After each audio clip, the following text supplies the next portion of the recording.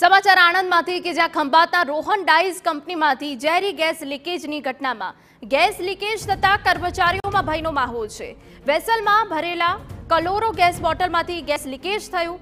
ઝેરી ગેસથી શ્વાસ લેવામાં તકલીફો થયાની કર્મચારીઓ ફરિયાદ કરી રહ્યા છે. મામલતદાર જેપીસીબીના અધિકારી સહિતની ટીમે કંપનીમાં તપાસ કરી.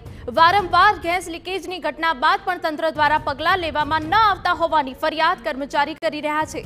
ગેસ લીકેજના અસરથી આજુબાજુના વિસ્તારની શાળા સમયથી પહેલા છોડી દેવામાં આવે છે, જેથી કરીને વિદ્યાર્થીઓને કોઈ અસર ન થાય. પરંતુ આ ગેસ લીકેજની જે ઘટના છે, તે વારંવાર બની રહી છે ને હજુ સુધી તંત્ર દ્વારા કોઈ જ પગલાં લેવામાં નથી આવ્યા. પરંતુ હવે જ્યારે કર્મચારીઓ વારંવારની ફરિયાદ કરી રહ્યા છે, ત્યારે મામલતદાર જીપીસીબીના અધિકારી સહિત ટીમ કંપનીમાં તપાસ અર્થે પહોંચી છે. પરંતુ ડાઇસ કંપનીમાંથી ઝેરી ગેસ લીકેજ થતા કર્મચારીઓ હવે ભય અનુભવી રહ્યા છે. તેમના જીવને જોખમ છે.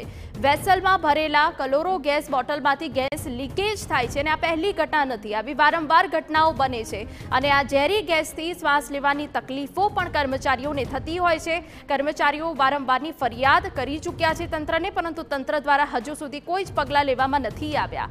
ત્યારે હવે જ્યારે ગંભીરતાને જોતા મામલતદાર જીપીસીબીના અધિકારી સહિતની ટીમ કંપનીમાં તપાસ અર્થે પહોંચી.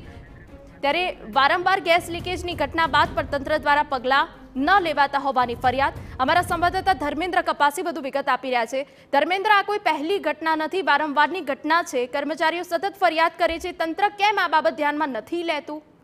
એના સમગ્ર મામલામાં સૌથી ગંભીર બેદરકારી ગુજરાત પોલ્યુશન કંટ્રોલ બોર્ડના અધિકારીઓને ગણી શકાય, કારણ કે ઓફિસોની અંદર જ બેસીને કામગીરી કરતા ક્યારેય સર્વેની કે કોઈ પણ કંપનીની મુલાકાતની કાર્યવાહી જીપીસીબીના અધિકારીઓ દ્વારા નથી કરવામાં આવતી. સ્થાનિક લોકોનો આક્ષેપ છે કે જીપીસીબીના અધિકારીઓ દ્વારા કોઈ પણ પ્રકારનું મોનિટરિંગ કોઈ પણ પ્રકારની સૂચનાઓ કે કોઈ પણ પ્રકારની ટીકા ટિપ્પણી નથી કરવામાં આવતી.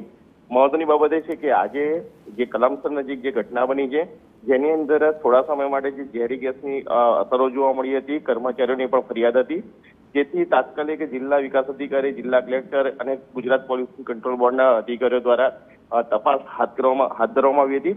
જો કે ગંભીર બેદરકારી. ગુજરાત પોલ્યુશન કંટ્રોલ બોર્ડની ગણી શકાય છે બિલકુલ. ધર્મેન્દ્ર વધુ વિગત અમે તમારી પાસેથી લેતા રહીશું. તો ગેસ લીકેજના કારણે આજુબાજુના વિસ્તારની શાળાને પણ સમય પહેલા છોડાય છે.